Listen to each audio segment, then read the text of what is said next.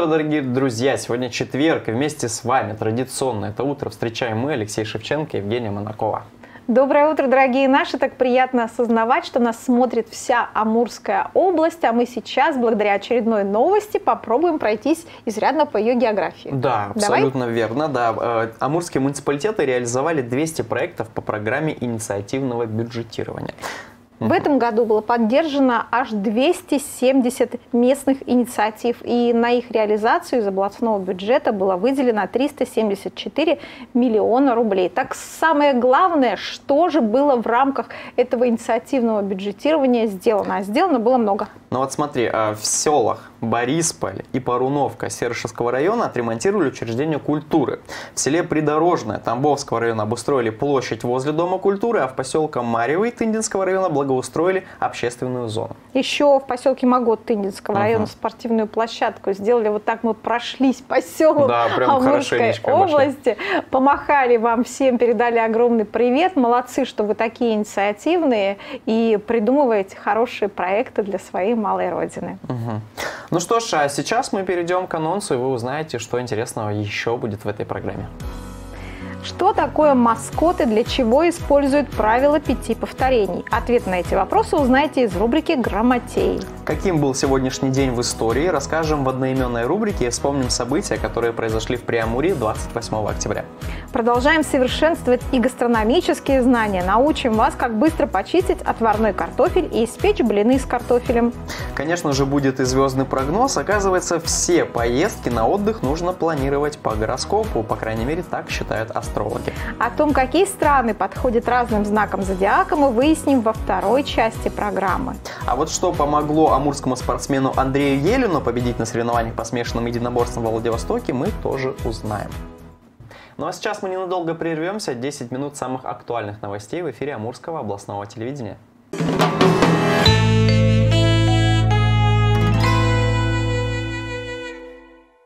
Доброе утро всем тем, кто к нам только что присоединился. Это наше утро в эфире Амурского областного телевидения. И хорошего дня всем, кто уже собирается бежать на работу.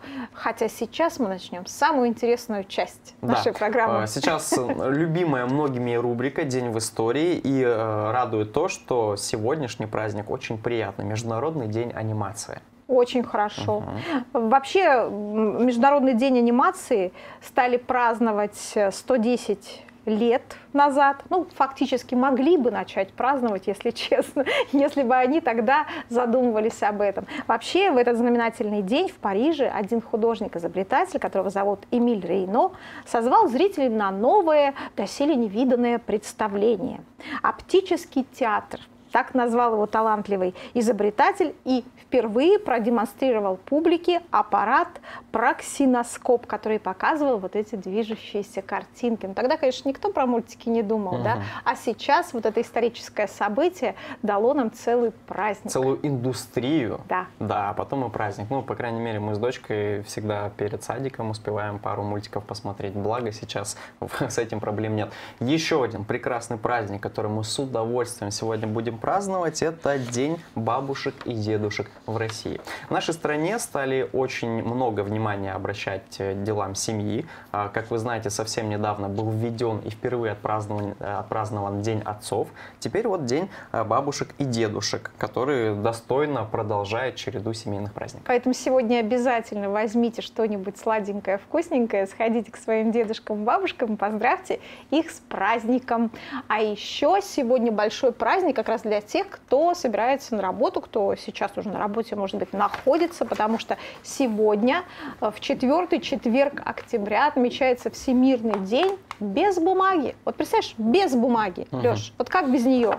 Ну, я думаю, что мы бы могли справиться, то есть, но тогда бы у нас были какие-нибудь планшеты, наверное, это Ну было да. бы немножечко все. Ну, бумага, она такая, знаешь. э, Вообще отказаться сложно, на Сложно, самом деле сложно, от бумаги, мгм. особенно что касается документа оборота. Но на самом деле нужно к этому стремиться. Поэтому давайте сегодня сэкономим хотя бы несколько листиков, И откажемся от бумаги. да, и откажемся от бумаги вовсе. А, Кроме того, мы не можем не упомянуть э, того, что в этот день была создана армейская авиация России. Это тоже очень важно. И нас э, не может не радовать, что сейчас время мирное и наша авиация используется только для приятных э, мирных вещей, парады и тренировки. И Я пусть надеюсь, так будет всегда. что в рубрике «День в истории» да, мы продолжим эту мирную традицию, и там расскажем о тех знаменательных событиях, которые произошли в истории Преамурья.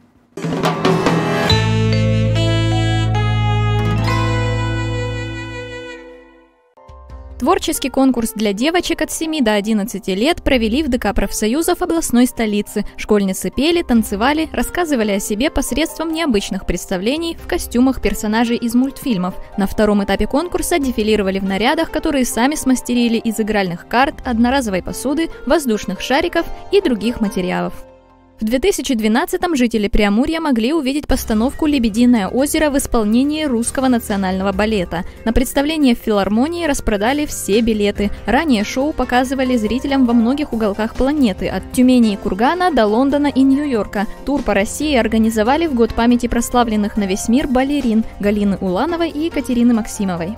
В Белогорске провели конкурс красоты для полных женщин. Участницы подготовили творческие номера. Кто-то пел украинские песни, кто-то исполнил танец со Стапом Бендером. Демонстрировали и фокусы. Состязались в номинациях «Леди очарование», «Леди контурность» и «Леди оригинальность». Всех конкурсанток наградили букетами, подарками и овациями. 89 тысяч мальков сазана выпустили в Амур и его притоки. Мероприятие провели, чтобы компенсировать ущерб от хозяйственной деятельности рудников. Мальков везли из Хабаровска 12 часов. Специальное оборудование обогащало кислородом воду в емкостях для перевозки. Через год после выпуска популяция сазана в реках увеличилась. Группа журналистов китайской газеты побывала в Преамурье. Они изучали культуру России для написания большой статьи для путешественников. Первым делом посетили театр кукол. Туристы приняли участие в интерактивном спектакле. Попробовали сыграть роль пчел и поуправлять тростевой куклой. Кроме театра, представители зарубежных СМИ побывали в БГПУ и Амурском госуниверситете.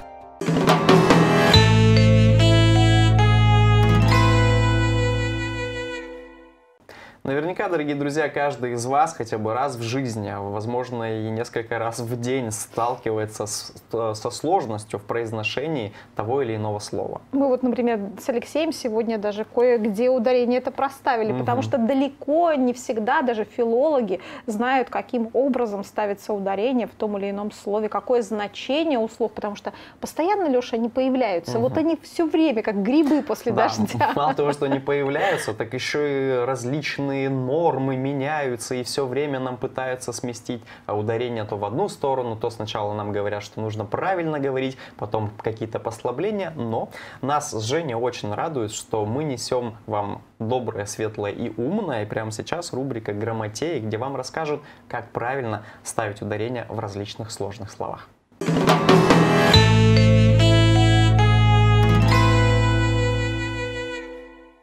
Что означает слово «маскот»? Слово «маскот» заимствовано из южного французского диалекта. В Провансе и Гасконии так называли любой предмет, который приносит удачу. Переводится как талисман, амулет. Англичане называли маскотами кошку или собаку, которых держали на корабле. В случае аварии животных не спасали, ведь, согласно закону, если на борту никого не оставалось, корабль становился государственной собственностью. С появлением интернета, развитием рыночной экономики, слово «маскот» обрело другое значение. С 20 века маскот – это любой узнаваемый персонаж, олицетворяющий некий коллектив. Маскотом может быть животное, предмет или человек. Такие символы есть у спортивных клубов, соревнований, музыкальных групп, коммерческих предприятий, даже продуктов питания. Например, медвежонок Миша – маскот 22-х летних Олимпийских игр в Москве. Клоун – символ популярной сети ресторанов быстрого питания и так далее. Как правильно говорить, бармен или бармен? У слова английское происхождение. Бармен – работник бара, буфетчик, стоящий у стойки. В русском языке значение не изменилось. Бармен – это владелец, управляющий баром или работник, продающий за стойкой напитки и закуски. Во многих современных словарях указано ударение на первый слог, как в английском языке. Однако в словаре трудностей русского языка Розенталя указано ударение на второй слог. Таким образом, допустимы оба варианта произношения. Будьте грамотны.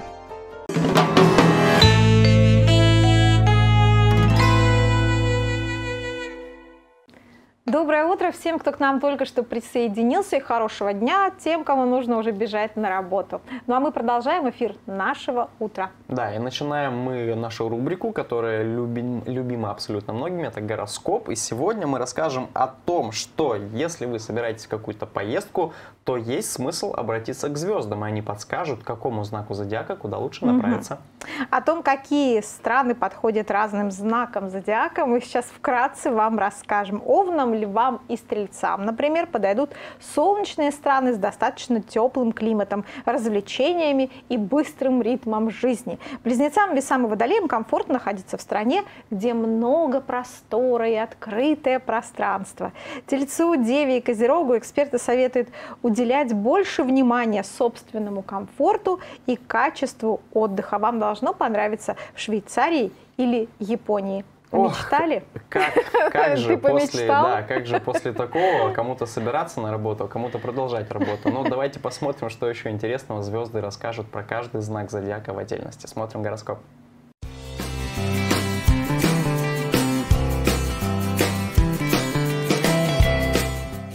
Овны, у вас редко бывает плаксивое настроение, но сегодня осень возьмет вас за горло. Причем причин серьезных для уныния нет.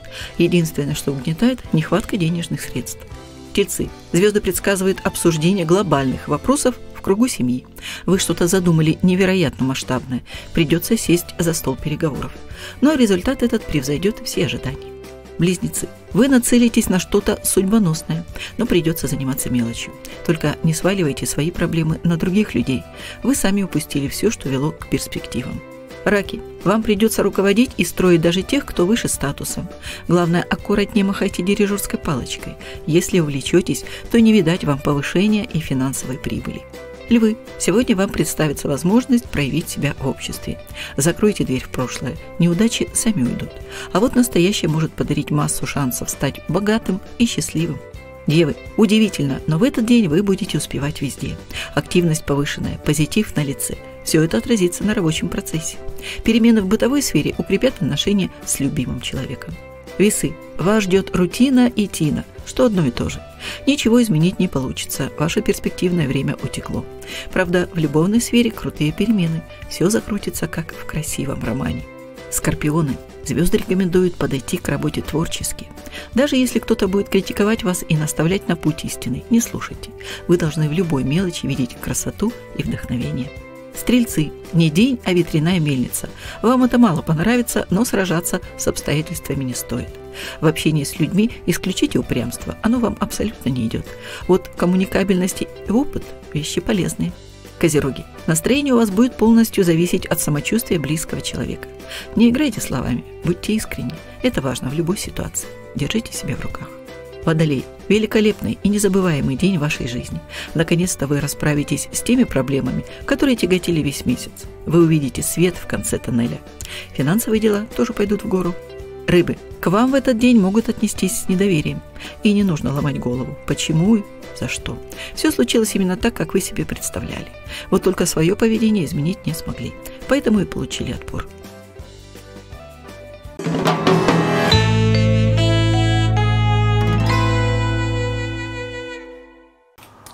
Дорогие друзья, мы снова чествуем амурских чемпионов. В этот раз у нас в гостях нашего утра Андрей Елин, чемпион России по кикбоксингу, чемпион Дальнего Востока по кикбоксингу и тайскому боксу. В этот раз Андрей совершил э, еще один мужественный поступок, победил целого мастера спорта международного класса, но сейчас об этом подробнее расскажет он сам. Доброе утро. Доброе, Доброе. утро. Ну, это действительно большая победа. Я, конечно, не знаток спорта, но я понимаю, что, ну, тогда что такое мастер спорта да. международного да, класса. Да, да. Это ничего себе. К тому же он, я так понимаю, не зря из Москвы летел. Хотя зря. Получается, что зря. А бой проходил по каким правилам? Бой проходил, называется это Combat Pro, проще говоря, тайский бокс в перчатках для ММА тонких. Именно формат тайского бокса. Локти, колени. Но без борьбы. Без борьбы. Без борьбы. Да. А, в какой формат боя, сколько раундов, сколько минут? Был три раунда по три минуты. Вот как, ну и основной тайский бокс. Угу, угу. И как противник, когда ложился или нет? Или до конца провели и уже по очкам выяснили, кто победитель? Вообще победу держал по очкам, но угу. в третьем раунде эм, сделал нокдаун, он Ох. Он уже упал. упал, Мгм. да. Ну, сначала хотели вроде врачи снять, у него была сечка, Мгм. кровотечение большое. Потом вроде, ну, продолжили бой. В третьем раунде он упал на помост, или как его на полу Мгм. назвать. И оставалась буквально минута, и тренер в углу кричал, ну, не добивать его, провести до конца с ним бой. Чтобы не снимали, да, то есть ему как техническим нокаутом, чтобы не засчитывали поражение. Ну, во-первых, как бы, и чтобы не полететь с, этой эйфории самому не пропустить удар. И с другой стороны, это как грамотно в плане тренера, чтобы не нанести ему большой урон, потому что перчатки сами тонкие. И так потом после боя там врачи к нему приезжали и зашивали, и чтобы не нанести еще сильный урон, провел бой до конца. У тебя уже был опыт э, в участии в боях с таких перчатках? И насколько процент сечек больше у них? И именно в этих перчатках первый раз в таких тонких таких да, первый боксер. Обычно мгм. такие 10-12 Мгм, унций мгм. толстые. Ну, а по сечкам может быть и там, и там. Как бы уже дело случая, как попадешь. То А есть вот- в любом случае Мгм. это спорт жесткий. Вот это вот ощущение, когда у тебя фактически голый кулак, э, тормозило первое время или нет, чтобы не вложиться полностью в удар? Ну, ну, во-первых, то, что первый раз ну, на таких перчатках дрался, с- немного было некомфортно, Мгм. неудобно. Если перчатки когда большие, ты, допустим, если защиту брать в плане защиты, ты ручки поднял, Лицо и, закрыто. Да, Мгм. и в коробочку собрался глухую. А тут ты так не позащищаешься. Тебе все равно ну, прилетит удар. И пришлось, чуть было неудобно. И не пропускал в таких перчатках сильно. На тренировке все равно так не прикладывали, как уже на соревнованиях. А уже когда один, два, три удара пропустил, понравилось. сказать. Неплохо, в принципе, Вот да. это спортсмены. Больно, больно, но неприятно немножко. Уже вошел в эту колею в эйфорию и значит, продолжали дальше. Ну, бой. раз Андрею дали приз за лучший бой, Мгм. я полагаю, это действительно был лучший бой, потому что там профессионалы судили, правильно? Да, показали зрелище. Ну, зрителям, вот по моему мнению, но и мнению большинства, нравится, когда все больше в стойке проходят. Мгм. Если в таких перчатках, там кровь, сечки, именно удары попадаете друг к другу. Бывает в ММА переведут в партер, если какой-то борец, а второй ударник, и они провалялись, пролежали. Такой зрелищности нету, если... Ну, если да, если тягучая борьба, то, Да. то есть если один другой особо не показывает, они просто валяются на полу, действительно Мгм. не очень интересно. Красота А, да. поединка, А здесь мало того, что сошлись два ударника, причем, ну, Андрей, он очень жесткий такой боец, и, ну, знаю, по видео смотрел, и соревнования видел, что такой достаточно бескомпромиссный. А какой был а, заряд от тренера на этот бой? Какая установка была? В основном заряд, установку импровизировали, был посмотреть первый раунд, как, что он будет делать, что он будет бить, оттуда уже отталкивались. Потом нащупали слабое место, это клинч и локти, что он уже как бы не сильно в них защищается, обладает, и установка уже была локтями бить клинч, и также его измотали этим, этим самым. Для меня вообще за 10 минут измотать, да, это действительно какой должен быть бой, какой интенсивности, чтобы вот так вот за 9 минут просто вот противника, конечно, уничтожить практически.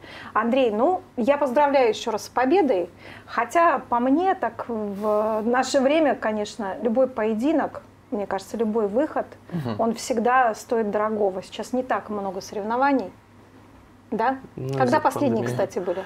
Последние соревнования были полгода назад, Ого. вот чемпионат России весной. А для тебя это большие перерывы в выступа- в выступлениях, вот именно в ринге? Ну, вообще полгода, как бы, да, большой перерыв. Что Обычно было за эти полгода? Тренировки. Тренировались, ездил на сборы. Знал, что какое-то когда-то случатся соревнования, настанут. И чтобы быть всегда в форме, потому что бывают предложения могут поступить и за неделю. Буквально вот Мгм. нужна замена на какой-нибудь профессиональный поединок. Мгм. И чтобы всегда быть ну, готовым, То есть ты готов в случае чего на коротком уведомлении Да, выйти вот на какое-то соревнование и короткое, да. выступить? Как Мгм. питаются спортсмены? У нас все-таки утренняя передача. Давайте к завтраку обратимся. Я думаю, сейчас кто-то завтракает, а мы тут, понимаешь, А мы про кровь и про локти Да, это правда. Как питаются спортсмены? Какой рацион вообще у тебя? Насколько большой для того, чтобы держать себя в хорошей физической форме вот так всегда? Ну, на своем примере я сказать, питаюсь очень беспорядочно. Очень много ем, безумными количествами порций и разнообразную еду. От вредной, да. Ничего такой. себе. А перед Но, соревнованиями? Вот, а, да, вот то, что проходит три тренировки в день, две, у меня веса не растет, потому что ты каждый день ты очень много ну, конечно, сливаешь. бешеное количество энергии. По 3, по 5 килограмм. А вот по соревнованию буквально вот три недели оставляю, уже вот килограмм 7, допустим, надо скинуть, все это переходишь на правильное питание. Это не мучное, не сладкое, не жареное, угу. не соленое. Вот просто простые достаточно. правила. Вот, да, и кушаешь в любых количествах, в основном овощи, фрукты, которые они быстро перевариваются, малокалорийные, и из-за этого вес начинает падать. Да, а, соль уходит, воды угу. нет, вода не задерживается, да, и, соответственно, аккуратненько, воду. аккуратненько, да. А что после падает. соревнований? А после соревнований? Да, происходит с питанием. После соревнований бывает, ну, плохо. Когда ты начинаешь наедаться, то уже у тебя глаза закрываются, еще там если какой-нибудь шведский стол, вот как у нас было, там уже невозможно остановиться. То есть настолько сильно расходуется энергия, что просто вот метешь все подряд практически, да? Да, ну сильно ты, считай, скидывал вес, сам угу. стресс от соревнований, и потом уже у тебя организм уже сам, ты кушаешь и не наедаешься. Вот это да. Да, представь, 7 килограммов потерял организм, и он такой говорит, а вот сейчас все, вы меня уже просто не остановите. Верните обратно. Это с точки медицинской зрения плохо так скидывать, а потом сразу быстро набирать. Но, в принципе, наверное, в спорте иначе никак, да? Нужно держать определенный вес э, к началу соревнований. Да, это, безусловно, должен четкий вес прописан по контракту. Угу. Сейчас очень сложно спрашивать о планах, э, о грядущих соревнованиях. Но, тем не менее, хочется. Да, очень, очень хочется. И вот такой момент. Ты подрался в октагоне. А, не появилась ли мысль, что, может быть, и в ММА есть смысл попробовать? Ну, мне не сильно привлекает спорт ММА именно из-за вот борьбы, от этого, потому что я привык к ударному виду спорта, всю жизнь им прозанимался. И если буду дальше продвигать такой не вид спорта, а формат боев на тонких перчатках uh-huh. ударной техники, на мой взгляд, даже также многих он очень зрелищный, чем ММА само. Я вот еще желание большое есть на таких перчатках драться угу. прогрессировать. Андрей, ну что ж, желаем всяческих побед, зная, что кроме этой медали есть еще много других. Пусть пополнит коллекцию. Ну и дальше медалей исключительно побед только и удачи. Спасибо, Спасибо большое. Ну, а мы с темы спорта кровавого перейдем к такому простому дворовому спорту, настольный теннис. Поговорим об этом. Первый уличный мини-турнир прошел в Благовещенске, причем соревнования горожане смогли провести при участии э, и благодаря установке новых столов с антивандальным покрытием. Ну, давайте посмотрим подробнее сюжет Екатерины Талалай, он уже в эфире.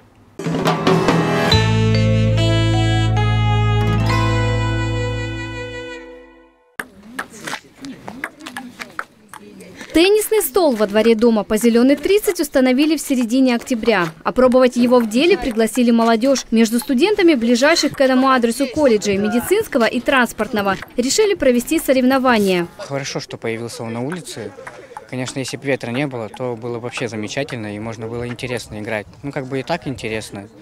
Я думаю, увлекательно будет, если даже, например, кто-то будет приходить здесь играть. Условия для занятий этим видом спорта во дворах, которые находятся в отдаленных районах города, придумали создать сами жители. Активисты написали проект и выиграли грант губернатора. Далее заказали 9 антивандальных теннисных столов. Они металлические с влагостойкой фанерой. Их установили на окраинах в районе Лазурного берега, судоверфи, спичфабрики, мясокомбината, сплавной конторы, хлопкопредельной фабрики и здесь, на Тайване, по двум адресам – во дворе дома и в парке на Зеленом зеленой. Рядом находятся два колледжа. Амурский колледж транспорта и дорожного хозяйства и медицинский колледж. Находится рядом школа, живут рядом детки. Этот стол здесь и в парковой зоне будут очень востребованы, потому что ну, детей много. И для того, чтобы им прилагать свои силы куда-то в нужное русло, стараемся что-то делать. У нас вообще двор не пустует. У нас, сами увидите, и площадка такая, маленькие дети. Волейбол вообще постоянно играют здесь приходят, посторонние приходят, играют. Ну и здесь, думаем, будет просто здесь Мы еще никак, ни, ни ракеток у нас пока не было. Стол неделю стоит, не больше. Этот проект оценили не только те, кто живет по адресам установки столов, но и жители других отдаленных районов, таких как Черемушки, Первая городская больница и Астрахановка. Они тоже хотели бы получить в свои дворы такой спортивный инвентарь. Авторы пообещали, что будут иметь их в виду. В планах вновь подать заявку на грант в следующем году. Екатерина Талалай, Юрий Кантамиров, Амурское областное телевидение.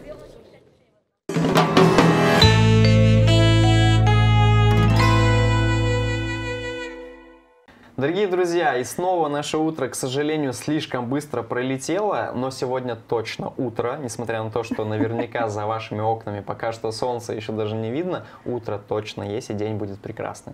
Ну, у кого-то уже видно, знаешь. Так что не нужно обобщать. Мы действительно э, рады тому, что у нас так много зрителей, что у нас такая большая и прекрасная Амурская область. И где бы вы ни жили, в каком бы уголке ни не были, знайте, что мы от всей души желаем вам хорошего дня и великолепного настроения на весь этот день. До скорой встречи в эфире. Всем Пока-пока. пока!